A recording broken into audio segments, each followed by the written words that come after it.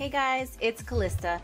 Today I wanted to talk to you guys about gemming. So a few of you have reached out to me uh, within the game, on YouTube, on Instagram, Twitter, just asking a lot of questions around jewels and gemming. So I wanted to make sure that we could do kind of a high level, just comprehensive how to, uh, and then walk you guys through an exercise that I'm going to be doing on my own account um, just regemming, figuring out which gems I can improve, and then putting those in my gear. So the very first piece of advice that I would give uh, to anyone who is new to the gemming piece of the game is make sure that you're not jumping the gun.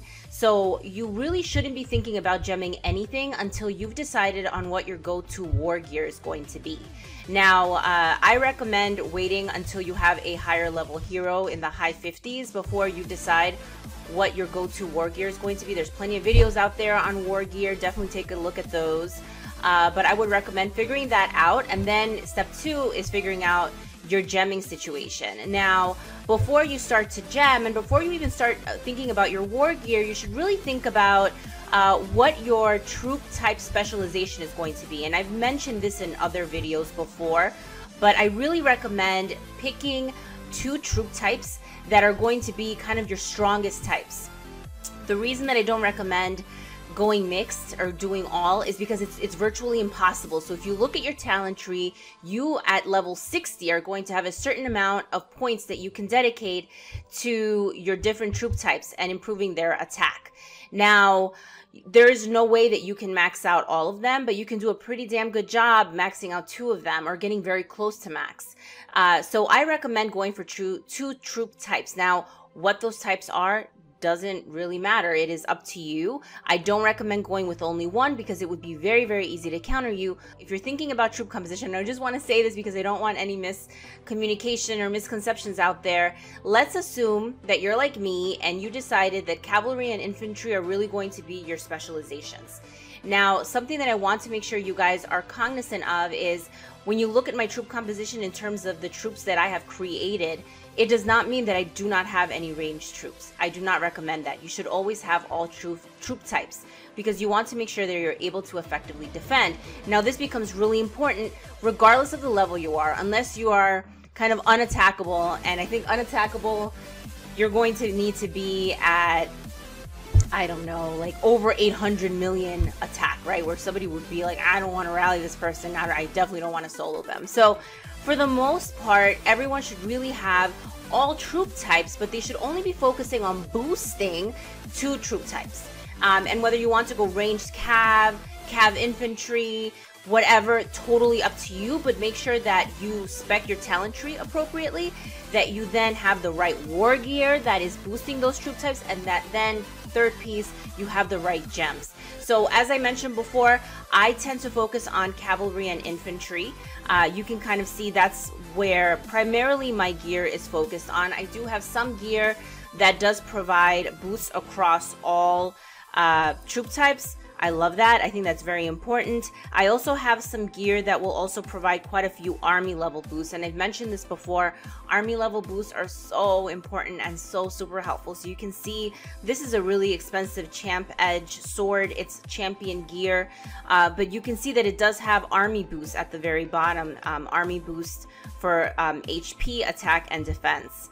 Um, some pieces of gear will have kind of a mix uh, where you'll have, for example, this one has infantry defense. It has some ranged attack, right?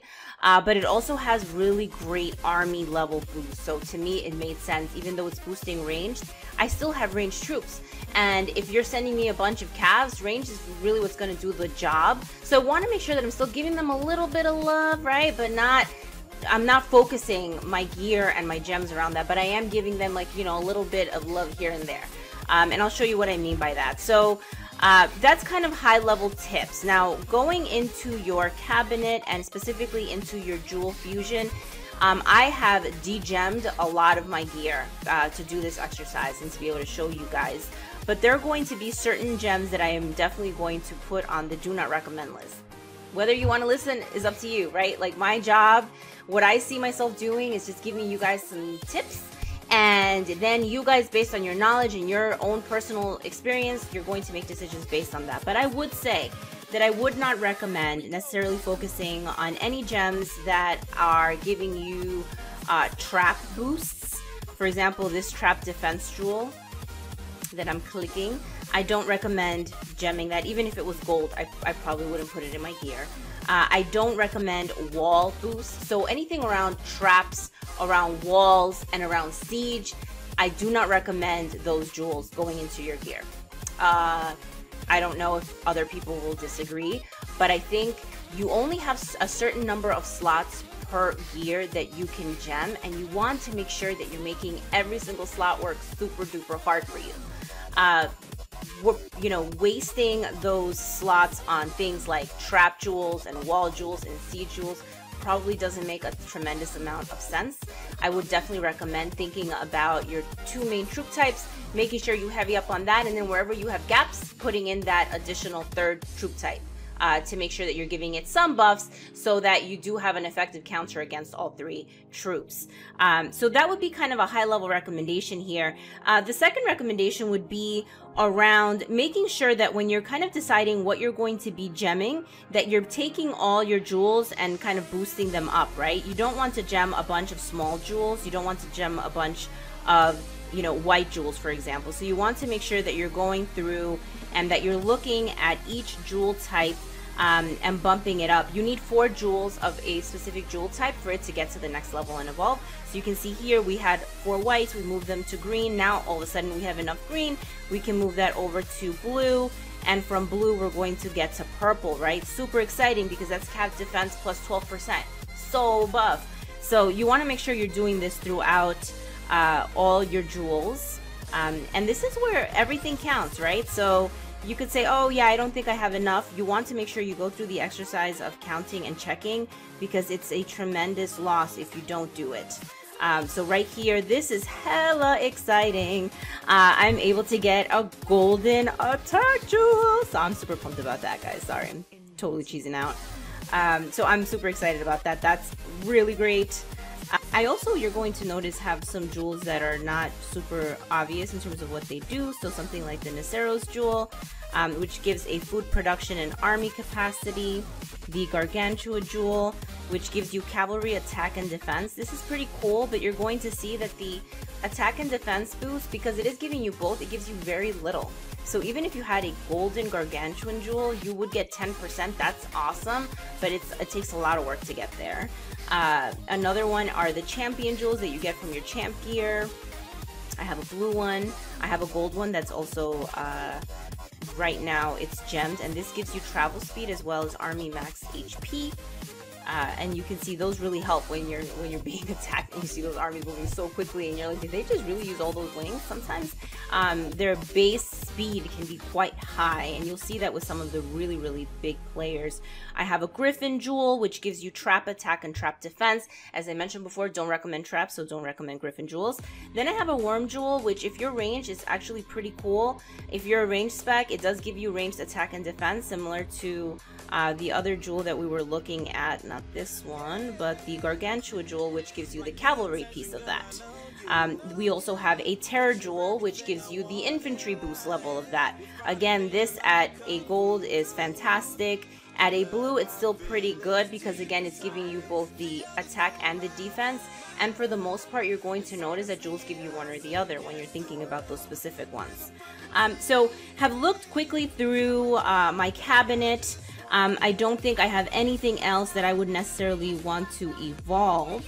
Uh, so I think for now I can kind of leave it at that. Another thing that comes up is devolving it.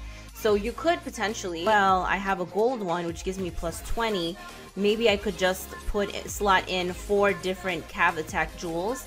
Um, and instead of 20, you're going to get a plus 48% uh, boost, which is fantastic. So think about that, right? Um, this is going to depend on a few things. It's going to depend on how many spaces you have. So for example, for my for this one, I'm probably going to leave it last to see uh, what I have. I think right now I don't have any purple cav attack jewels, but I have one blue. Uh, so that means per uh, war item, you can't have more than one of one specific type of gem. So you can't necessarily put three cav attack jewels in one piece of uh, gear, you can do that across multiple pieces of gear, but it's one per item. So that's important to keep in mind. So I would actually recommend once you kind of do this, and doing this is free, like fusing it, defusing it, you can have tons of fun doing this. Um, if you haven't gemmed a golden piece, it is sometimes best to degem it and having four of those boosts are going to stack. So think about that again. Uh, I think purple jewels are by far fantastic, and if you have a lot of them, you can get such a huge boost because 20% versus 48% is huge, right? So I'm gonna go in there um, and I'm going to go ahead um, and defuse them. So now I have four purples as opposed to the one golden. I was super excited about the golden, but I'm excited about the golden because that means I have enough to have four purple jewels, right? Um, now, if you have a ton of, if you're at the level where you have a lot of golden gems and you don't necessarily need to worry about each of, like each specific boost, more power to you. I, I think it, you have to be playing this for a long time and invest a ton of money to be there. Um, but for the most part, this is going to be really helpful. When you're thinking about the blue jewels, the blue give a plus six um, compared to your plus 12. It is a big difference, right? And then green plus three. So a question that comes up is when you're pay to play, uh, when do you start gemming? And when you're free to play, when do you start gemming? If you're free to play, needing to pull out a jewel is incredibly expensive. So if you've, and I can show you guys, uh, let's see, so you can kind of see when you're trying to pull out a jewel, and this one's gonna scare people but let's do this one. So let's click that. Let's say it's okay. Let's click remove. So you can see the extract jewel screen there and you can see how expensive it can get to extract certain number, certain color jewels. So you can see a common jewel is green. It's a thousand to pull it out. A blue one is rare. It's 2000. The purple ones are 3000 per jewel to be able to pull it out. Now you can pull it out and destroy it. Never would I recommend destroying anything I mean, I haven't even destroyed my wall and my trap boosts jewels, which I technically could. I've never, um, I've never um, gemmed them or used them in gear, so I haven't had to extract them. But if I did, I probably would be pulling. Um, I would just be removing them and not paying. Now, a golden gem is going to be 4,000. So, eight pieces of gear here, guys, that I could put a purple cav attack in every single one um, so what I'm going to do is actually pay the price, pay 4,000 gems and pull it. Did it pull? No. I'm going to pay 4,000 gems and pull it. Ouch. And devolve that one as well because I do have eight pieces of gear where I could put Cav attack. And that's huge. It's going to make my Cav incredibly, incredibly strong. And I can show you guys, just so you can take a quick look at what the buffs look like. So right now, this is what the buffs look like. They're pretty low. Um, you can see infantry and cavalry have the higher ones, uh, but I don't have any jewels. So you can, I want you guys to remember some of those numbers. So 234% for infantry, 240 for cav. And you're going to see post gemming what those boosts are going to look like. It'll be a big, big difference, okay? So I'm going to go back into the cabinet and into the jewel section and I'm going to grab my beautiful golden gem and I'm going to divide it. So now I have eight, right? That's pretty cool. That's a plus 96% cav attack boost. That is hella cool, man. So that's super exciting. Um, I'm pumped by that. That's a good thing. Another jewel that I have in here that I will show you that I saved just to do this with you guys so you guys can share my pain is the champ jewel. So that gives you a 20% travel speed and a 15% max HP. This is going to be the same situation where dividing this is going to be more impactful because you can stack your percentages than slapping in that golden jewel. Okay? So we're going to go into Jewel Fusion, Let's see where it is. Over here. And we're going to devolve it. And now all of a sudden you're gonna see instead of the travel speed plus 20 we're gonna have a plus 40 our max HP is going to be plus 30 versus plus 15 so double right? The downside to this is we're taking up slots right? So we have to just be really cognizant of how many slots we're going to have left because that's the amount of slots that we're going to need to play with in terms of the, the rest of the jewels that we have. Uh, but these, because the stack is so intensely helpful, it makes sense to break it apart as opposed to gemming one big golden jewel. Okay, so I'm going to go ahead and quickly do this and I will be right back. Hey guys, I am back. So what have I done so far? So what I did was go through each uh, equipment piece that I had and go ahead and gem it. So the first thing that I did was the cavalry attack gems. Remember we had two golden ones and we divided them up into eight uh, purple ones. I went ahead and gemmed those across all the gear and you can see that here. Right, so that very first jewel. And then I did the same thing with the champion jewels. We had one golden one. I went ahead and split that apart and was able to put those in four pieces. And then for the leftover um, slots that I had, I went ahead and put in, again, remember what my focus is, infantry and cavalry. So wherever I could, I put in infantry and cavalry jewels. Um, and then after I did that, I had a couple of purple ranged jewels that I put in there again, just to make sure that I have um, all my bases covered. So you can kind of see what I have here. You have the cavalry attack jewel that you guys saw. I had a couple of infantry attack jewels, also purple, and an infantry defense jewel. Very important stuff. You can kind of see what the stats look like at the bottom. Now, the big moment of truth. Let's take a look at what the boosts look like post gemming. All right. So that's what the boosts look like, which is pretty good. Um, you can see that our infantry attack went up. Our cav broke 300, which is great. Um, so pretty decent. Uh, could work on a couple of things, I think. And this is all from an attack perspective, right? And you can see what the army boosts look like down below.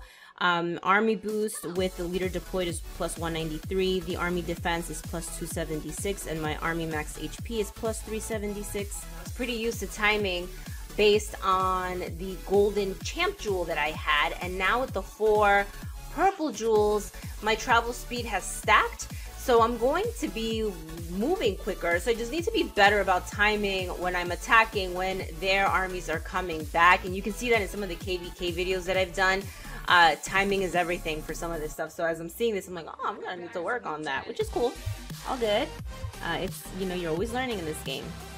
So guys, that is all I wanted to show you guys. I was going to be doing this gemming exercise for my own anyway, uh, so just figured I'd record it, uh, show it to you guys. You guys can kind of see what I was doing. Uh, if you have any questions, you know, I always try to respond to any questions that you guys have. I know that there can sometimes be, uh, it can sometimes feel really overwhelming, right? Like all the stuff that you have to do in this game. So if I can help you guys, love to. You can reach me on Twitter, Instagram, within Lords Mobile. You can reach me through YouTube. Uh, via the comment section. So again, I hope this was helpful. Um, would love to hear any advice that you guys have in the comments, right? Because we're all here to help each other. So feel free to post anything that makes sense. Thank you so much for watching. Take care.